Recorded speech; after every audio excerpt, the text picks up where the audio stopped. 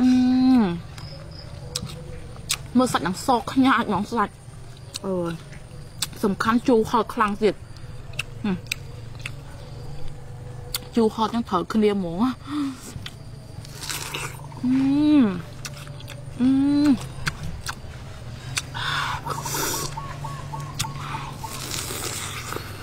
អឺ